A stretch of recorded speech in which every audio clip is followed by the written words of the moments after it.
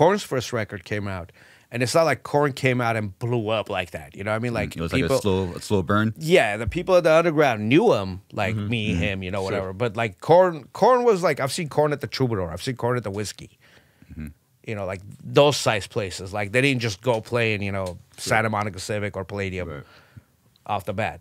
So I've seen them in like those small clubs, and then like if Korn was played or Deftones, they would come down and play. You know, we would just be out there Mm. Yeah, yeah. passing flyers out, bro. It was definitely a scene. You know, it was like it's crazy, bro. Like the the, the scene was just like it, it felt like it was a scene. It was a scene, yeah. Like uh, literally, people were playing. It sold out here, and you, the other band would be sold out here. Like it was literally a scene. Like it was kind of like the uh, like the '80s when people were just walking around. Just it was literally like that, but it was like nu metal, yeah. and people would uh, System of a Down, and their band. Like it was just crazy. bro. Static. static, Snot, Yeah. Snot would come down and So play. it was like a nu metal scene before it was even a thing. Yeah, it, it, wasn't even It called wasn't that. even called nu metal. It was just rock or metal. What, what- So it was it was Wow. called it was called uh I remember they were calling it L.A. metal because like LA metal. L.A. metal oh yeah. because it was all like basically down tuned like that's Yeah. literally that's the only thing any of us had in common Yeah. was we all tuned down yeah. And then uh and then what I think threw it in a in a tailspin or like what fucked it all up the name L.A. metal was uh either Limp Bizkit who were from Jacksonville or l- a little later on Slipknot came out who weren't from L.A. either but Slipknot like blew the fuck up obviously and then it was like okay so you can't call it nu metal I mean uh, L.A. metal anymore and then I Whoa, think if I'm not mistaken it was Kerrang Kerrang magazine that like coined that term nu metal No shit. Hmm. yeah Okay. they were, either it was them or Metal Hammer. It was like it, it came from the UK. Yeah. That the term, nu metal. But it, it's it's all weird because you know I was like, okay, so you know you're calling Coal Chamber, System of a Down, and Limp Bizkit nu metal.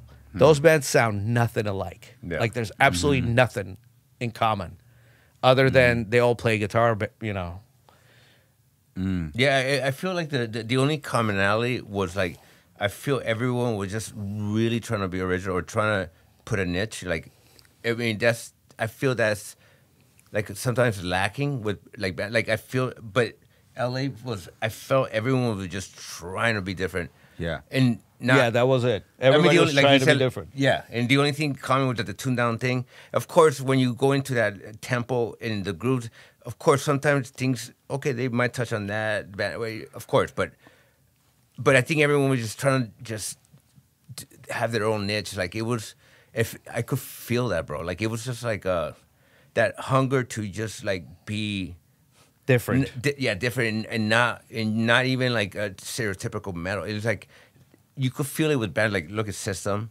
Static. they're- mm-hmm. Like it was just different. Everybody was just doing their shit and fucking shit up, you know. And that was awesome because it's like you could feel the camaraderie, but also the competition. Yeah, That's you know, it was it was healthy competition. healthy. But I'll tell you one thing, like bro, everybody helped everybody out. Yeah. Like bands, like dudes would just help each other out. Yep. Like what? Uh, so for, for for example, you gave like like the Dino example. Like what's like like what was something else that uh, that bands were doing to help? Uh, we would just put shows together, man. You Yeah. know, um, well, Coal Chamber is a kind of a bad example because when we came out, they already had a record deal and they had put their first record out. But like you know, take uh, take let's say Spineshank, Static X, System of a Down. Um, let's take those three bands. Yeah. Um, like Shavo would put shows together at the Whisky, Yep. and then he would call me. He'd be like, "Yo, bro, we're doing a show at the Whisky. You guys want to do it with us?" Yeah, Holy shit. you know, like that's how it would work. And then you know, um, shit would happen. You know, like fucking somebody's cymbals would get stolen. Let's just say, right? The other drummer would be like, "Yeah, bro, take mine. It's all good." And I'm talking like these were all local bands. I mean, they all had label interest for sure, mm-hmm. but nobody really had a record deal. But I mean, you're talking like we would sell out the Whisky, bro. Five, six hundred people. you It was like this fucking this growing scene. yeah, it was. I mean, it was like literally a scene.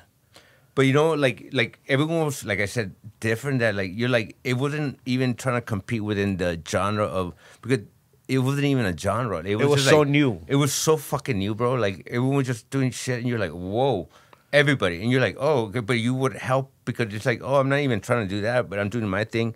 So it wouldn't feel like you're competing in the same thing, because it was there was no genre. There was just like people were just doing crazy shit. So everyone's like, oh yeah, let's fucking play together, blah blah. Because you, oh, I'll help you out, or you know, blah blah. And it was a different kind of thing, you know, back then, because things it was so new, bro. It was so new that we were trying to take metal in, into a, a, a territory that was, uh, you know, just uncharted Yeah. waters basically. You know, the egos didn't really start kicking in till like everybody's second record. yeah, for sure. Yeah. oh, the second record. Well, because I mean, I mean, something that people don't really know about both both your bands because, and also I was wrong for assuming this because people associate anything pre, I don't know, 2005 as like money. But you, but since the scene was so new, you guys both signed at a time where nu metal didn't pop yet.